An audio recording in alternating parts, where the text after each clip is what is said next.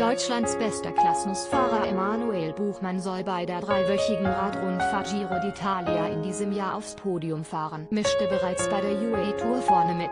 Emanuel Buchmann, wo Picture Alliance dieses Ziel gab der Teamchef des deutschen Rennstalls Bora Hans Grohe, Ralf Denk, am Mittwoch in einem Interview von Münchner Merkur und TZ aus Wilkio, Keltermann.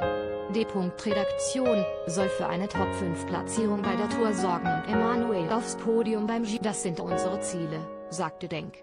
Aufgrund der Streckenführung hat sich das Team für 2021 entschieden, den 28 Jahre alten Buchmann bei der Italien-Rundfahrt an den Start zu schicken und den niederländischen Neuzugang Keltermann bei der prestigeträchtigen Tour de France einzusetzen. Wir haben uns die Streckenverläufe von Giro, Tour und Vuelta genau angeschaut.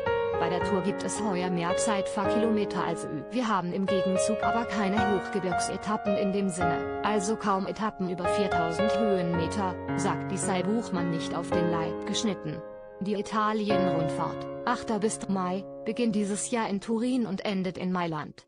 Den Giro hat noch nie ein deutscher Fahrer gewonnen. Vor zwei Jahren entschied Pascal Ackermann als erster deutscher Sprinter die Punktewertung für Fabian Wegmann sicherte sich im Jahr 2004 die Bergwertung und damit als erster deutscher Fahrer ein Deutsche Presseagentur Giro, Zahlen, Rekorde, Geschichte.